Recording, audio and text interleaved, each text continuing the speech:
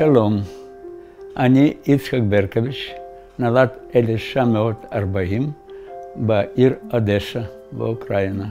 הייתי בן שלוש, ומתחילה מלחמה נגד גרמנים. אבא שלי נפל במלחמה, התנאים היו קשים.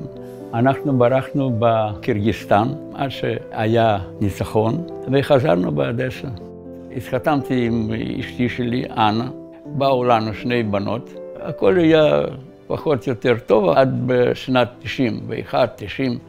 ומתחיל להיות מצב שאי אפשר להיות שם, קשה, ואנחנו מוכרחים גם לברוח.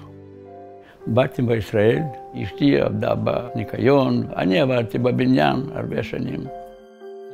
ארגון לתת נתן לנו אוכל, כל מיני דברים טובים.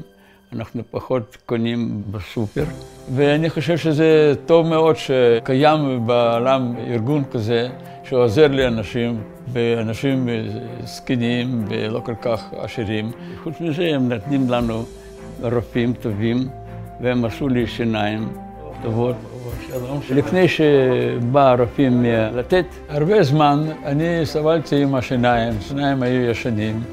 ולא היה מספיק כסף בשביל לעשות חדשים. אלה אנשים שבאו, הם עשו מהר, יפה, מקצועי, ואני מאוד מרוצה.